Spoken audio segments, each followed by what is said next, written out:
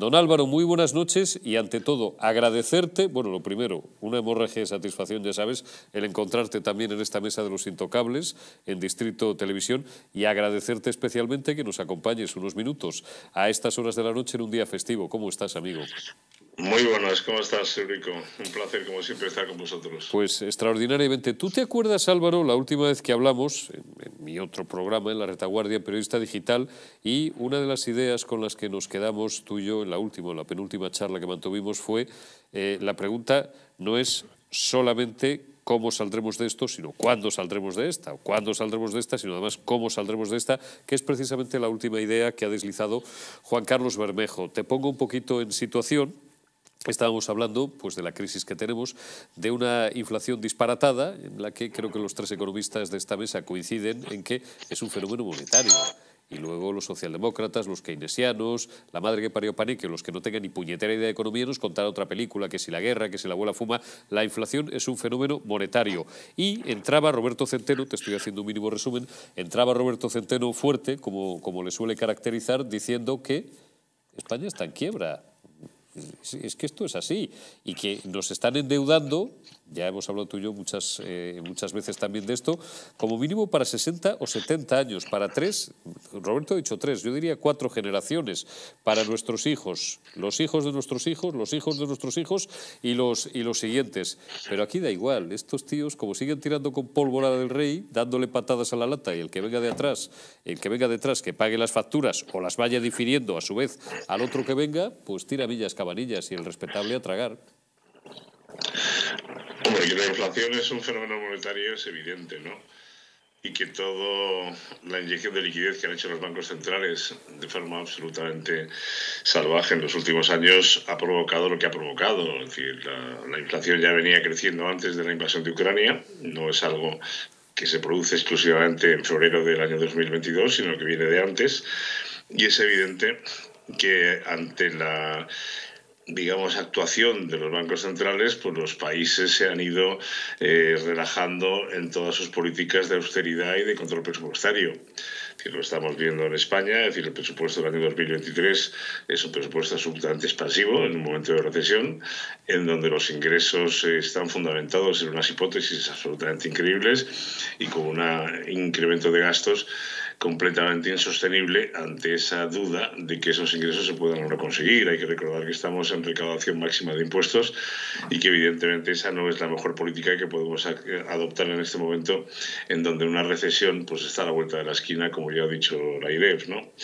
De todas maneras, eh, las circunstancias, en la medida en que los bancos centrales sigan adoptando unas medidas que permiten a los países como España, o como Italia, o como Francia, seguir manteniendo unas políticas presupuestarias absolutamente laxas, en donde el déficit no preocupa, hay que recordar que el déficit de España, dicho por la IREF, se va a acercar al 5% este año, es decir, y vamos a tener una deuda pública que aunque baje en relativo sobre el PIB, va a estar por encima de 1,5 billones, es evidente que tenemos una losa en nuestra espalda para los próximos años muy seria y muy preocupante, sobre todo en un momento de incremento de tipos de interés, en donde el coste financiero de esa deuda, es decir, el servicio de la deuda que se suele decir, va a ser muy superior al que está contemplado en presupuestos. Es decir, tenemos ahora mismo una deuda muy apalancada a largo plazo, con unos tipos de interés relativamente bajos, porque el Tesoro ha hecho bien sus deberes, pero lo que se nos viene por delante eh, es mucho más preocupante porque esos 32.000 millones que vamos a pagar de gastos financieros por esa deuda van a ser muy superiores en los próximos dos años. Álvaro, eh, ah, no, perdona, perdona, pensaba que habías terminado, no quiero cortarte. No, no, sí, sí, dime, dime, No, vamos a ver, como aquí tenemos todavía hora y media de debate en esta mesa para tocar mil aspectos, todo lo que nos dé tiempo, por supuesto. El otro día hablaba yo contigo también eh, hablábamos de la fuga de capitales. ¿Te acuerdas? Esto, pues a lo mejor fue hace tres, cuatro semanas aproximadamente. Eh, eh, hubo unos días en los que pues, conocimos los datos, por ejemplo, del número de, residentes bueno, de españoles que se habían fijado su residencia fiscal en, Portugal, ya saben, 184 días al año, mi sueño dorado de aquí a un año o a dos años, en Oporto o en el Algarve, me da absolutamente, igual. Y me dabas un dato, creo que eran, recordar que eran 16.000 españoles españoles ya los que habían fijado, pero vamos, no en Portugal, en Andorra, antes citaba Roberto Centeno, un país también extraordinario, en mi opinión, Suiza, que tiene una inflación del 3 y pico por ciento, ¿eh? ahí a estos la guerra pues no, no les afecta. Tú que estás todo el día, todos los días hablando con las manos fuertes del mercado, tú, tú ves, pulsas la confianza, pues eh, hablas con gente de Chicago, con gente de Londres y tal. Eh, bueno, aquí no sé quién será el tarao que, que se plantea invertir en, en estas circunstancias, pero sigues viendo un riesgo real, ya sé que ya se está produciendo desde hace tiempo, ¿eh? de que esa fuga de capitales, Álvaro, se incremente desde tu posición, que para esto es la mejor, en los próximos meses. Hombre, es evidente que cuando tú incrementas la presión fiscal y además vas a penalizar el ahorro, como se está haciendo en España, no solamente ya en los planes de pensiones, que es una auténtica locura, es decir, si toda la inversión extranjera se va a encontrar con una inseguridad jurídica y un programa fiscal absolutamente eh, desconcertante, lo normal es que pues no decidas invertir en el país, ¿no? Eh, que te vayas a Portugal, que te vayas a Andorra y Hoy Italia ha anunciado un paquete de medidas adicionales y además de beneficios fiscales para aquellos que vayan al país, con lo cual ya no, va a ser solamente Andorra y Portugal, sino que los italianos probablemente empiecen a atraer cierta inversión que llegaba a España y que ahora se va a acabar yendo a Italia. Decir, todos los países están de alguna manera favoreciendo precisamente esa inversión, que al final es la que te genera precisamente la riqueza necesaria para crear esa productividad que necesitamos y crear empleo. Y en España estamos haciendo todo lo contrario. Es decir, estos señores en el gobierno han subido casi ya 45 impuestos, se han creado impuestos nuevos que están recaudando muy por debajo de lo que se esperaba y se siguen anunciando pues, los impuestos a las grandes fortunas, que además no solamente son para el 2023, sino que nos van a aplicar 2023 es decir, lo que antes se pensaba que ibas a pagar en 2024 lo de 2023, ahora lo vas a pagar también con respecto a 2022.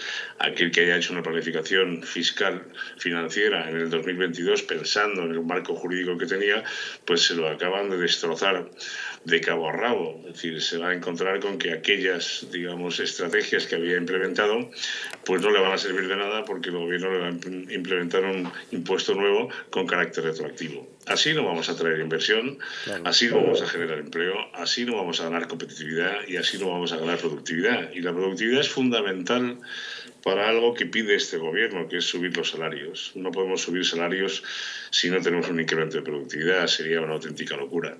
Sería, sería una locura. Y como me quedan dos minutos, Álvaro, antes del primer corte de Publi, los aprovecho contigo por ir haciendo, digamos, una estructuración natural del programa. Y tú, que estás todo el día, muchas horas, con el pico y con la pala, dime, revélanos un pequeño secretillo y es cómo diablos te las arreglas para convencer a un tío de Londres, a un tío de Chicago o a un tío de Frankfurt que se traiga aquí la pasta en vez de llevársela, pues no sé, eh, feeling the blanks. Pongan ustedes el, el, país, el país que quieran, porque es que a vosotros había que hacer un monumento también.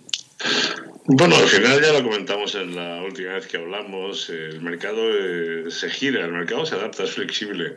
Es decir, eh, cosas que veníamos haciendo hasta ahora, que eran las tradicionales de eh, lo que se suele llamar fundraising, que es levantar fondos para determinados, mm. determinados fondos extranjeros, pues cambian de perfil. Es decir, ahora pues llegan otros fondos a España distintos que vienen buscando las oportunidades precisamente de financiación y de credit lending que van a permitir de alguna forma pues que esos fondos tradicionales puedan seguir haciendo su actividad y puedan seguir haciendo la inversión en pequeñas y medianas empresas en España para ayudarlas a internacionalizarlas o, probablemente meter nuevos equipos directivos y darles un poquito más de, de, perfil, digamos, de empresa más grande, pues eso va cambiando. Entonces, bueno, los financieros nos adaptamos a las circunstancias y al final acabas buscando pues aquellas, digamos, eh, palancas que de alguna manera te ayudan a, a que, bueno, pues en un momento determinado de recesión al que vamos encaminados y con unos tipos de interés eh, crecientes, pues eh, busquemos esas alternativas que ayudan precisamente a los que hasta ahora han tirado del carro,